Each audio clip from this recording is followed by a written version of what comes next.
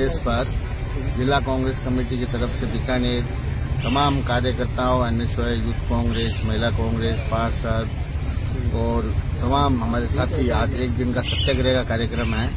और आप इस बात को समझते हैं कि केंद्र सरकार नरेंद्र मोदी, प्रधानमंत्री जी जिस तरीके से लोकतंत्र को खत्म करने का काम कर रही है और उस खत्म करने के काम के अवज में जिस तरीके से पूरे देश के अंदर भ्रष्टाचार बढ़ रहा, महँगाई बढ़ी, राहुल गांधी जी चार हज़ार किलोमीटर की यात्रा करके देश की स्थिति के बारे में बताया, आज वो उस पर अंकुश लगाने का काम कर रहे हैं भ्रष्टाचार का उजागर न हो। इसलिए लोकतंत्र को खत्म करने का जो उन्होंने निंदा, जो उन्होंने काम किया है, वो निंदनीय है और हम सब उसकी भ्रष्टना करते हैं और ये देश गांधीवादी देश है, गांधी जी के अनुयायियों पर चलने वाला देश है। आज हम सब तमाम कांग्रेसी इस सत्याग्रह के माध्यम से मांग करते हैं प्रधानमंत्री जी से कि आप देश की जनता के साथ धोखा मत करो लोकतंत्र को खत्म मत करो।